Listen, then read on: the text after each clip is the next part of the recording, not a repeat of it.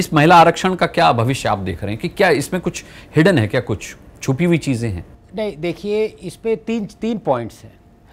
Number one अगर ये महिला आरक्षण इमीडिएटली लाते पहली बात तो ये है कि भले ही मोदी जी ने बोल दिया कि ये मुझ पे था मैं लाया और ये मेरे पे भगवान ने दिया था वो जो भी बोलिए।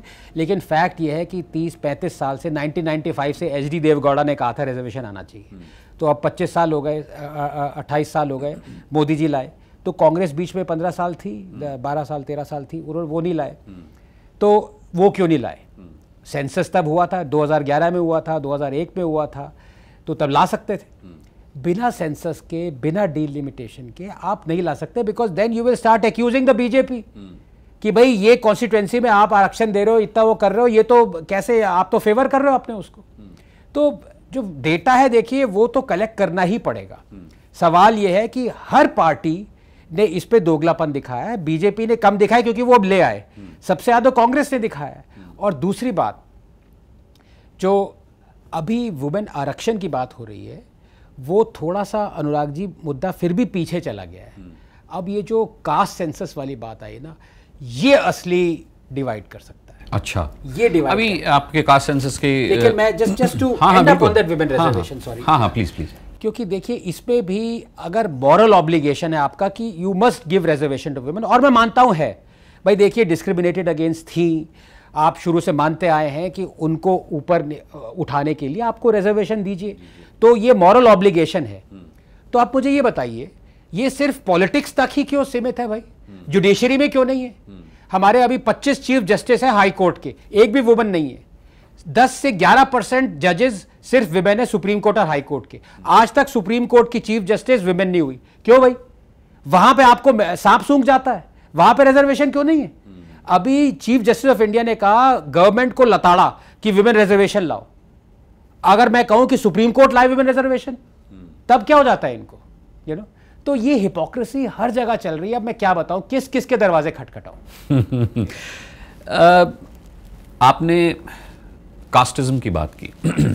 अभी बिहार में हमने देखा कि जातिगत आधार पर जो आंकड़े आए हैं अब आपको क्या लगता है? भविष्य की राजनीति एक बार फिर मंडल का मंडल की होने वाली है? बिल्कुल।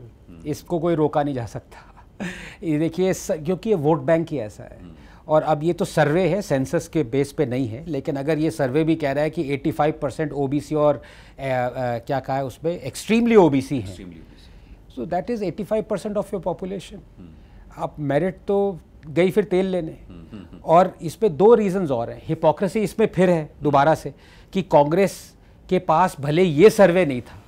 पिछले 60 साल से जब उन्होंने सरकार बनाई है कम से कम उन्हें ये तो पता था कि 30 से 35 परसेंट ओबीसी हैं।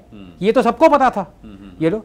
तो फिर ऐसा क्यों है कि अब ये बीजेपी को एक्यूज कर रही है कि जितने सेक्रेटरीज हैं गवर्नमेंट में वो सिर्फ़ दो परसेंट। अरे भाई आपकी सरकार में तो और भी कम थे। और आपको पता था भले 85 परसेंट ना पता ओबीसी हो थर्टी परसेंट तो पता था।